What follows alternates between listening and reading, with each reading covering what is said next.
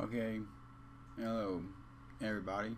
It's your boy Krillen, 64 back here again with the Atari Jaguar collection.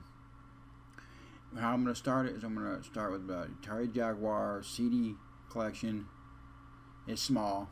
I thought I had more, but I don't.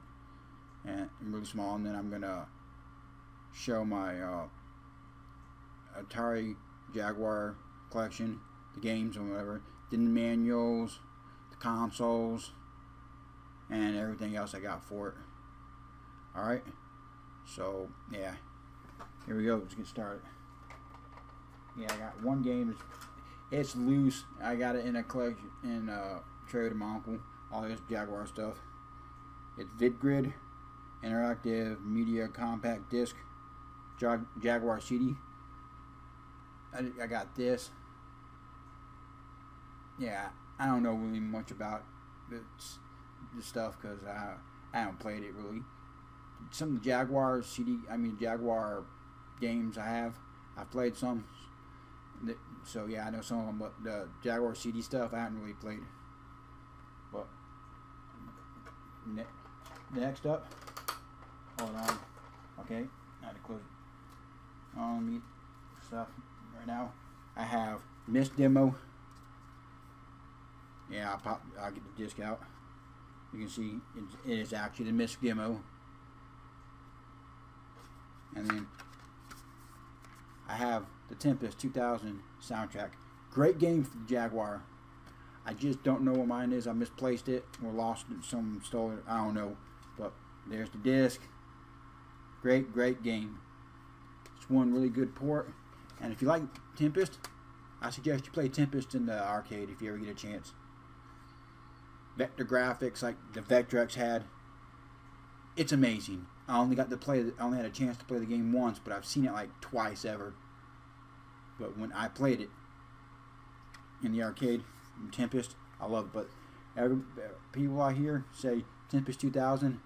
It's one of the best ports. Is the Jaguar Tempest 2000. Okay, now going off, going on the uh, my uh, Jaguar games. First up, Alien versus Predator. Oh, sorry, no gameplay footage. Don't want to make the. Uh, I have no way to capture the footage, like, like I've said in my previous videos, and probably make my my video too long. I'll work on it in, for, for the future and get some video to show, but right now I'm not able to. So, uh, yeah, something I'm gonna have to work on. If you guys really think is necessary. Uh, next game I got Raiden. Next one, Evolution Dino Dudes. Yeah, one thing I think is weird while I'm thinking about it, this little handle uh, kind of thing they have on the cartridge, which, yeah, I'll show you later when I'm getting to the showing off the consoles and stuff. Well, console slash attachment add-on thing. I don't know really what to properly call it.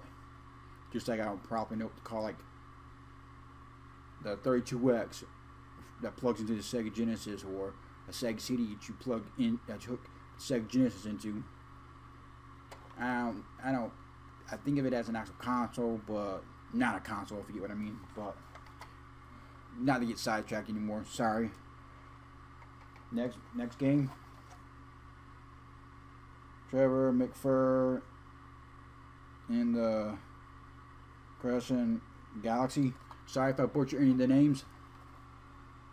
Yeah, all the games I don't remember because I don't play it super often. Because to me, it's not one of my favorite consoles.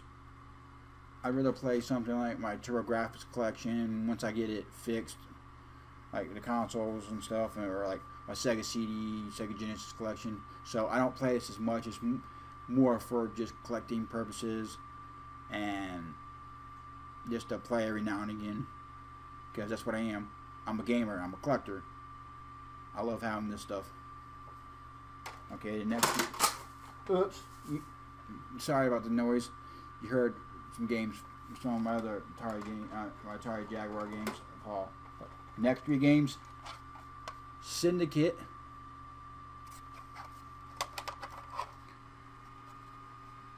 Hover Striker. Hover Striker not really a great game to me. I've tried it and just eh. Eh. Checkered flag. So next that's the next one. If you guys want to see any gameplay footage of any of the games, you can I'm sure you can look up stuff on YouTube. Again, sorry. No way to capture it. Okay, and the next stack. This last bit of games I got. I got Wolfenstein 3D.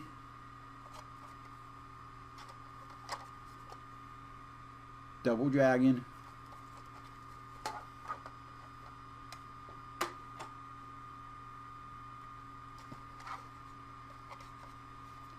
Zool 2.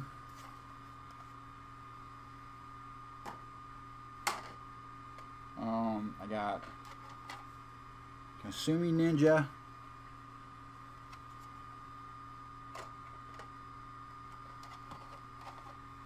Iron Soldier.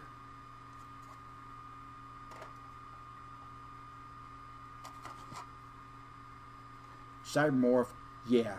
One game if you guys know but if any of you know anything on the on the console, not a great game. Not a great game at all. Kind of annoying. You can look up pe people's reviews out there on the game how bad it is.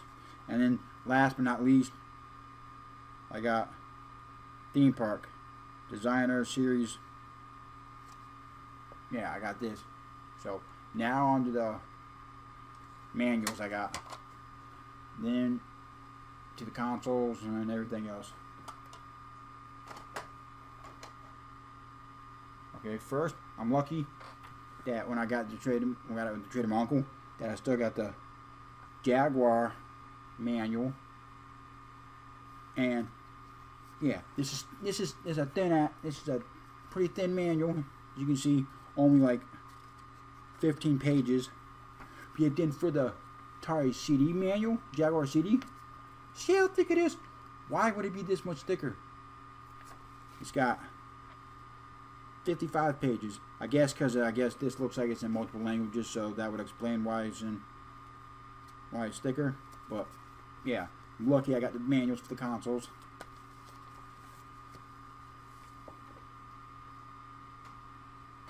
Yeah, and here's the manuals for the games. I would think, it, as you as you'll be able to tell, I mean as you'll see, the manuals are in black and white, the covers or whatever. I would at least like them to be in color, if any, uh, if nothing else. I'll show an example of, of like inside one with some pictures. A good one. Like see the picture here, black and white. I would at least like the cover to to have been color, but oh well.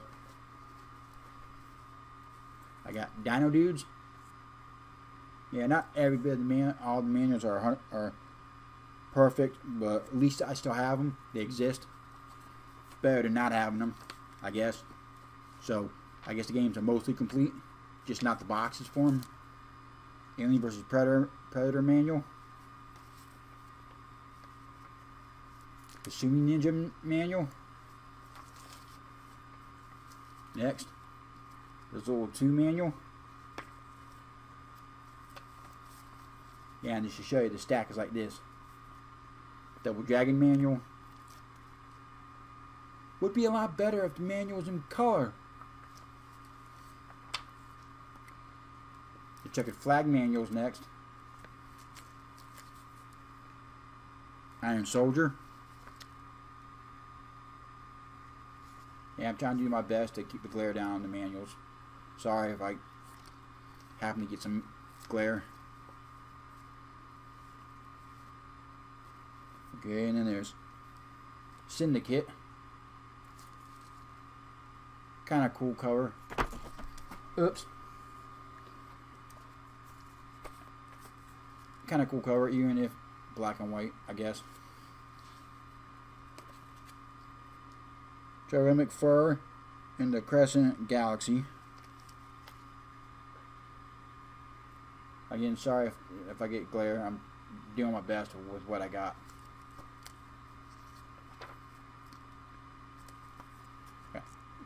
Hover strike.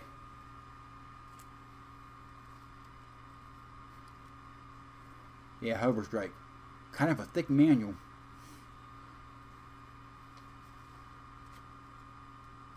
Yeah, there's manuals you don't normally see with games like this anymore. Heck, you don't really see manuals nowadays. Maybe some indie game companies will, if they release their game physical, maybe. Next, Wolfenstein 3D. Yeah, this is just a puny manual for Raiden. It's thin. It's like only what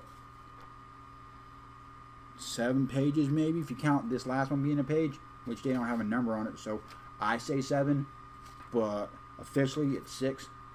Yeah, it's just a thin as can be manual. And I don't know why with some of them kind of like paper feeling, but whatever. Another thick manual, which I can see this being maybe a little thicker, but the theme park manual.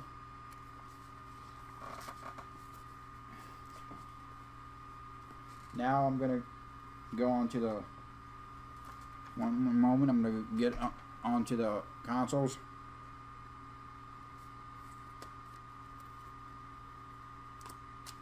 Yeah, sorry the video is not the best quality. I'm I'm new to making the videos, so uh, I'm kind of like learning what's what will work best for me, and what won't, and doing the best with what I've got. I'm just using my web camera and my Logitech 1080p web camera because that's what I got. And oh, yeah, if you have any suggestions, um, anything I can do to maybe try to improve with what I got, leave the stuff, leave suggestion in the comments.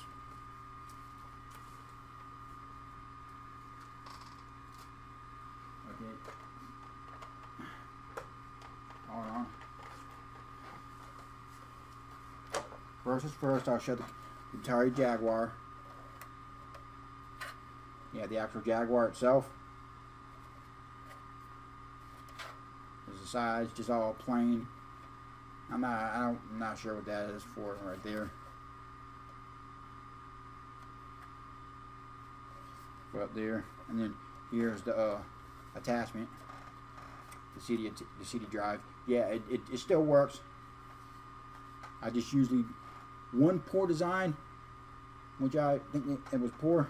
You see here, no no flat the, the doors to, to protect the pins, like the connector, like on a Super Nintendo or a Sega Genesis, what Mega Drive, what have you. As, as you can see here, same. It's just open. That's bad design in my opinion. I don't like it. And as you can see, take this and sorry for if the angle's kind of bad and you just kind of just push it in yeah you line it up just right and you just kind of push a little bit you hear just a little bit of noise and you can do it and I'll show putting the game in basically you like take the game and you can see with the handle sorry it's not the best I you got you put it in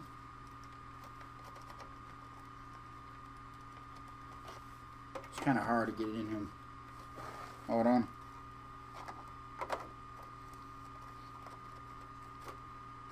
You put it in like that. I guess to make it easier, you have the handle. And yeah, I know for anyone who ever gets, you may ever get a CD attachment, be sure you be careful with it with the drive. I with the with the CD drive. I hear they're easy to make them not work anymore. Like yeah, make like I hear make sure it, the console's turned off when you before you pull the game out and make sure you hold on to it to get a little more leverage because if I hear if the power's on and this gets disconnected, there goes the drive. I hear they're temperamental and common to not have them working. So me having a look a working one, I hear I'm lucky, but on to the next part. My uh, I got two two of the controllers. I don't need to show them both. Yeah, it may look kind of awkward, but when you hold it, it feels pretty comfortable. Yeah, a little thick, but yeah. Oh, and if you might be wondering about the numbers on here, mm, number where it looks like a that uh, that uh, number pad on a old phone, on old home phone. Basically, what you would do is you is the games they would come with uh, some of these. Oh, there's one other game I forgot I got somewhere around here, but I, I, I didn't bring it. So what I might have to do is throw it in sometime. But you get like in the games you'll get like Alien versus Predator.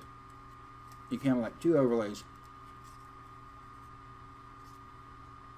Purple would be for the alien. And the green would be like for the the uh, marine you play in the game. And what you do, I'll show you. You take them. I'm not going to fully put it in there, but I'll put it in en enough for you to get the get the idea. Basically, you put it you put it you put it in, and the overlay would show you what buttons you what the buttons you push for the game, what they do, and, and all that. It's pretty cool. Kind of an awkward looking controller. Not the best, but it's fairly comfortable. Anyway, I hope you guys. If you liked the video, please be sure to leave a thumbs up, subscribe, leave a comment down below. I typically upload Wednesdays, 3 a.m. Eastern Standard Time each week.